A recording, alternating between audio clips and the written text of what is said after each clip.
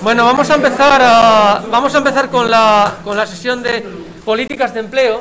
Políticas de empleo, bueno, pues cuando se habla de políticas de empleo son eh, aquellas. Trabas mucho, ¿eh? Perdón, dime, dime, dime. Que se traba mucho, lo escuchas muy mal. Bueno, como está grabando, eh, yo oigo a vosotros bastante bien, entonces si tenéis alguna duda preguntadme, pero es que eh, ya os digo, eh, yo oigo bien y el tema pues debe ser por culpa de que estoy con el, con el micro del portátil, porque si cojo el micro el, inhala, el, el micro normal no, no, me vais a, no me vais a oír de ninguna manera y yo no os voy a oír. Entonces prefiero más que si hay alguna cosa que no entendáis, me paréis, eh, como voy escribiendo cosas también, pues...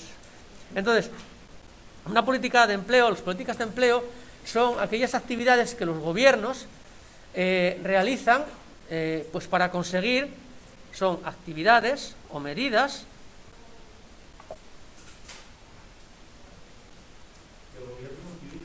Sí, actividades, medidas, también se llaman líneas de los gobiernos, de todos los gobiernos. No se oye nada, Gilberto. Pues espera, voy a intentar a ver, mirar otra vez. A ver. Ahora, ahora sí. Ahora sí, pues, pues será porque va bien, porque no, no toque nada. Ahora son los gobiernos. Ahora mal. Ahora mal. Pues, a ver.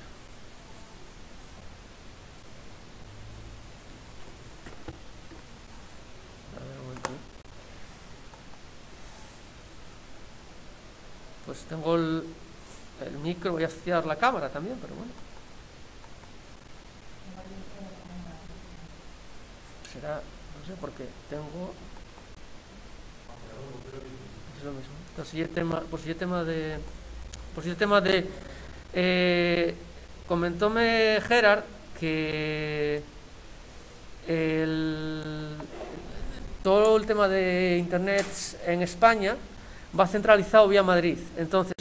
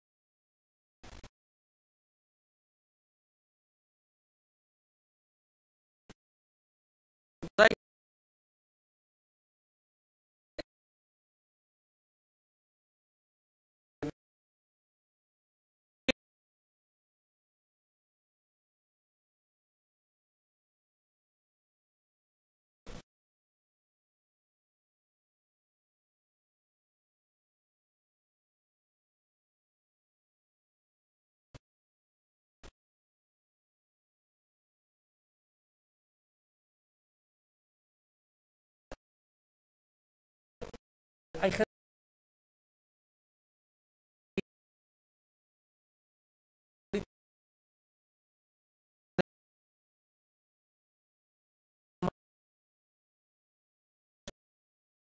empleo.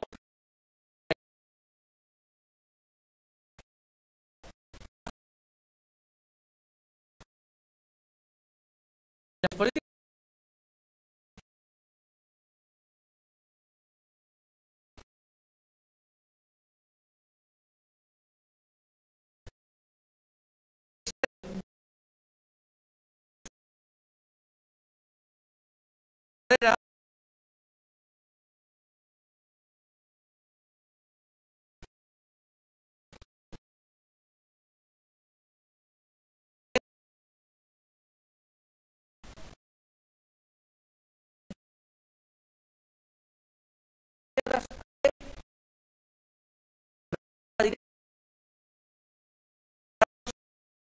¿Vale? O el número de personas que hay desempleadas en una economía. Entonces, por ejemplo, una puede ser potenciar que los empresarios o que las empresas contraten a más trabajadores. Pues ¿cómo? Pues por ejemplo, hay una medida que sería bastante interesante, eh, que sería pues reducir lo que se llama la cuota de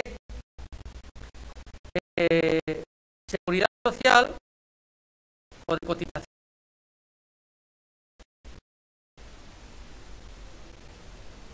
que tiene que pagar una empresa por un trabajador, ¿vale? Porque eh, en España, en España por lo menos, cuando se habla de cuotas eh, de cotizaciones sociales que tiene que pagar una empresa son muy altas, ¿no? Entonces, sí que es verdad que si bajamos la cotización social, eh, la mano de obra se encarece menos al empresario y puede contratar más gente. ¿Qué podemos también poner como medida? Dime. Bueno, pues, eh, a ver, yo estoy grabándolo. Yo, ya, ¿qué que se te diga? Mira, es que ahora entiendes que te digo. Ya, pero lo que no puedo. A ver, quiero deciros, yo estoy grabándolo, estoy grabándolo en el vídeo. Ya miraréis el vídeo luego, porque es que claro. Eh, lo que trae ahí. Cuota eh, de, seguridad social o cotizaciones sociales. Otra cosa podría ser, pues, incentivar. Ahora sí, ahora sí. Ahora sí, ahora sí. Pues no, estoy en la misma, la misma posición. Yo lo que os digo, el tema del nodo de Madrid, seguramente. Incentivar la contratación con ayudas o subvenciones pues por ejemplo, para contratar menores de 25 años, para contratar mujeres, para contratar eh, gente con discapacidad, para contratar lo que sea, ¿no? Gente, cuando hablábamos de tipos de desempleo, pues esos, grupos de personas que, por cualquier razón, estaban más eh, fastidiados en el tema de eh, grupos digamos, más eh, conflictivos en el sentido de que era la gente que más sufría esa situación. ¿no? Luego tenemos otra serie de, de políticas de, eh, activas que sería fomentar la iniciativa personal o lo que se llama, que se entiende como emprendeduría, los emprendedores. ¿Vale? Cuando a lo mejor cierra una empresa y pues se incentiva a las personas para que creen un negocio y no se queden en el paro, pues eh, apalancados o, de esa manera, ¿no? Otra sería, por ejemplo, eh, fomentar también la formación y cualificación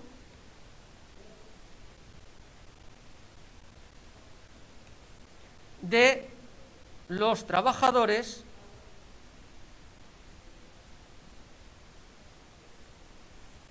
y de los parados, ¿vale? También, esto es importante porque, como decimos, acordaros que decíamos que uno de los grupos más desfavorecidos en el tema del desempleo eran aquellas personas que tenían escasa cualificación en cualquier grupo de edad, ¿no? Entonces, eso eh, era bastante importante eh, respecto a esto. Y luego también adecuar las necesidades del mercado a la formación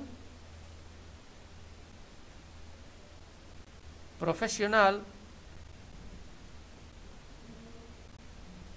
y también los currículos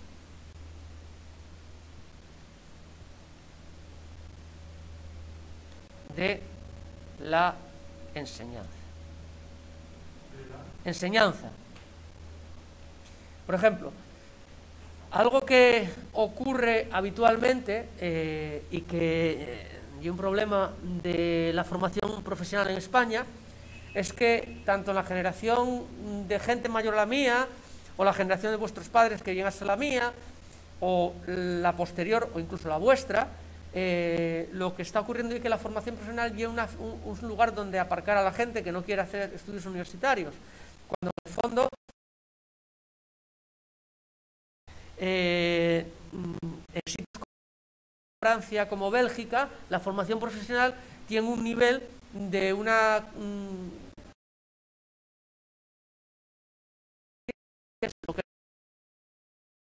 entonces, en Alemania, en Francia, hay gente que puede hacer una formación profesional, por ejemplo, en mecánica, y si quiere seguir puede meterse en una ingeniería mecánica o en, aspectos similares. Luego, ahí es importante conseguir que los currículos de la enseñanza, lo que son las leyes de educación, vayan de acuerdo a aquello que se necesita. ¿no? Imaginaros que estamos formando, por ejemplo, eh, pues soldadores y el país no demanda soldadores, o que se estaba formando chapistas y el país no demanda chapistas. Uno de los grandes problemas que hay hoy en día, y que seguramente vosotros eh, pues, conocéis porque tenéis amigos haciéndolo, la formación en el tema de la automoción no puede ser la misma ahora que la edad 20 años, porque hoy en día la formación de coches de automoción y es todo, es algo que era chapa y la pintura y tal, y es todo electrónica. Y antiguamente era mecánico, era todo, bueno, pues se armaba un motor y eran todo tornillos, eran todo bieles, eran un montón de cosas que parecían mecanos. Hoy en día son más parecidos a ordenadores, entonces tú no puedes estar dando una formación eh, del tema de pues, reparación de coches como se daba hace 20 años, llegar para allá y quitar bujíes y quitar tornillos, tal, cuando hoy en día funciona todo con chips electrónicos. ¿no? Eh, lo mismo con el tema de, de, las nuevas tecnologías de la información, el tema de lo que se llama la realidad ampliada, que... que... Sí, dime.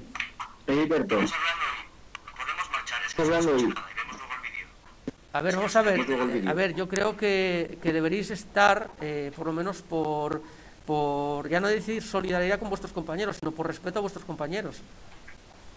Ahora, cada uno es muy libre de hacerles cosas, ¿eh? ¿eh? yo creo que... No, no, a ver, vamos a ver, espera un momentín. No, no, espera un momentín. Quiero decirte, eh, yo creo que aparte de dar economía... Espera, yo... déjame terminar de hablar, por favor. Estoy metiéndome por, por la pantalla. Yo creo que aparte de dar economía, yo tengo que dar otra serie de cosas. Entonces, vosotros sois muy libres de hacer lo que os dé la gana. Pero, y que en la vida hay otras cosas más que el yo sé que hay muchas veces que la gente se conecta al ordenador y marcha a dar una vuelta y, no digo nada, pero ya que me estáis diciendo estas cosas, pues voy a decirlo ahora. ¿eh? O sea, en la vida hay que ser personas. Aparte de sacar buenas notas, y no lo estoy diciendo por vosotros solos, sino en general, ¿eh? Eh, hay que ser personas y hay que ser, hay que pues, solidarizarse con quien está haciendo un esfuerzo. En este caso, los profesores que nos estamos enganchando para hacer vídeos y dar clases, y particularmente y especialmente con vuestros compañeros. Entonces, podéis hacer lo que os dé la gana, pero sí que a lo mejor cuando yo tenga que pasar lista en determinados momentos y alguno no esté, pues a lo mejor tome medidas al respecto. Dicho esto, podéis hacer lo que os dé la gana. Eh...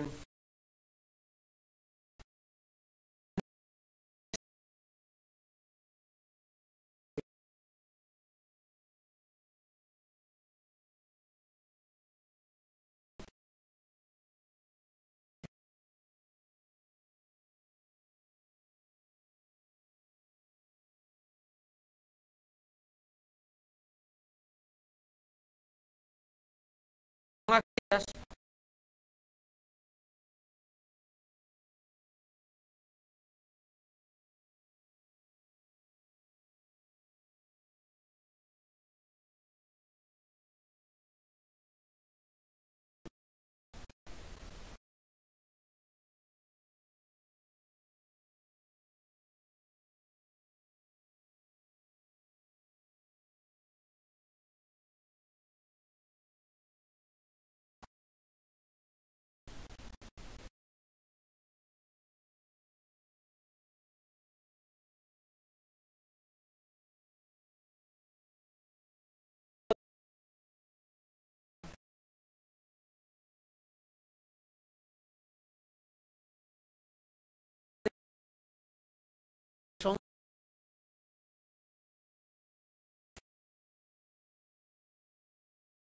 Ya os digo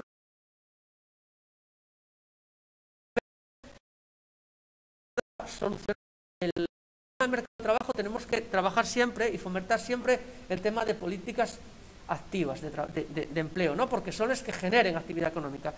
En políticas pasivas, bueno, pues afortunadamente están para ayudar a la gente que está en, mal, eh, en malas situaciones, sobre todo ahora con el tema del coronavirus, porque sí que es verdad que ahora las políticas activas poco pueden hacer, porque de una situación, esperemos que coyuntural, eh, pero muy, muy dramática, eh, pero lo que, lo que os decía, ¿no?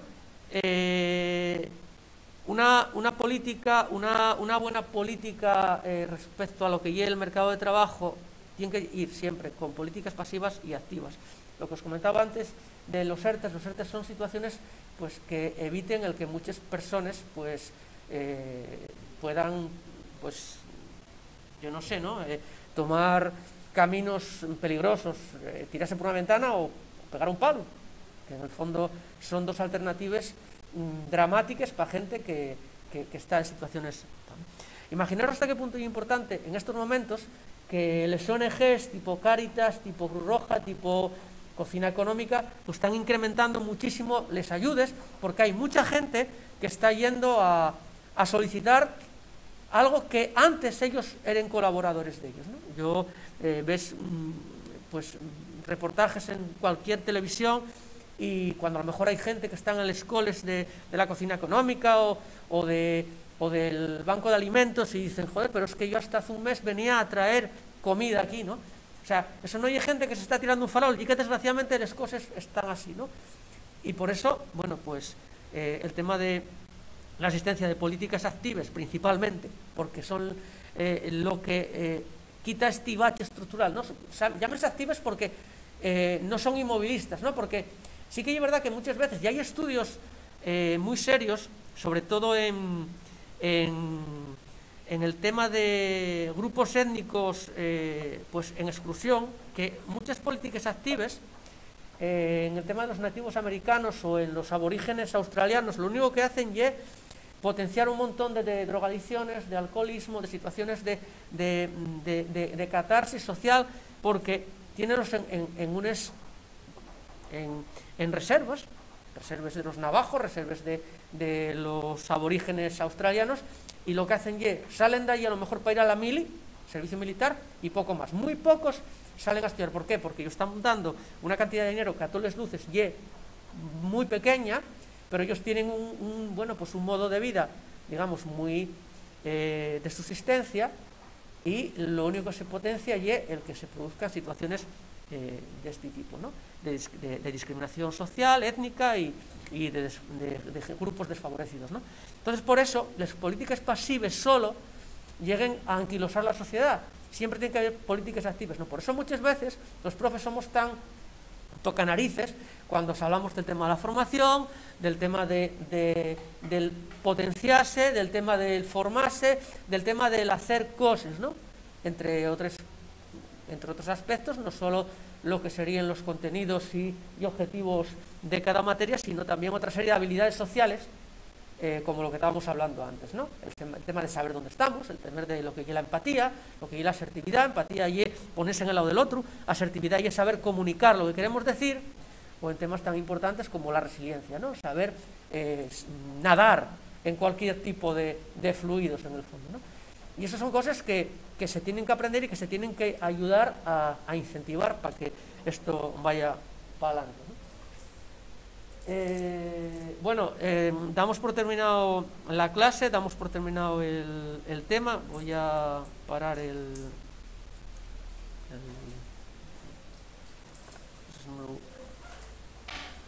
pararía.